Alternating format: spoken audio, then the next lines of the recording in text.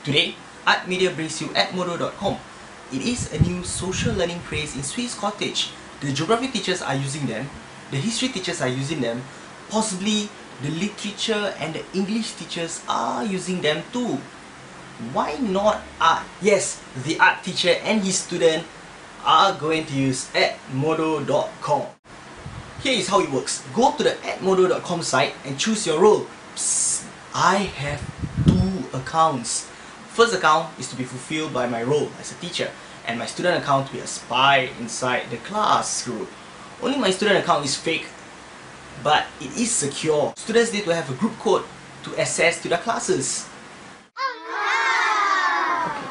Yes, it looks like Facebook, but it was designed as such so that students will intuitively understand the whole interface.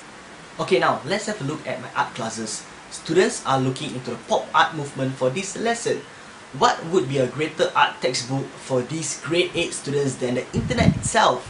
Anyway, I have two assignments in the social learning platform. To check attendance, I have designed a simple assignment to just post a favorite pop art furniture. Secondly, it gets more and more complex, whereby students are required to put up a pop art artwork and explain the artwork and also its relevance with the society at that period of time. Done! 1 hour 20 minutes. Pure research and myself, shaking my legs, reading newspaper and drink coffee.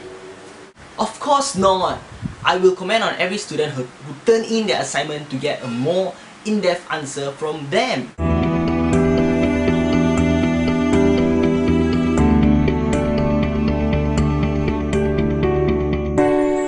If you have a class, try it. The possibilities of using such tools are endless. Web 2.0 brings education for students anywhere and anytime. Once we have this in place, you will never need to worry about what they are doing on the web. By the way, I'm still waiting for my name portal to get approved.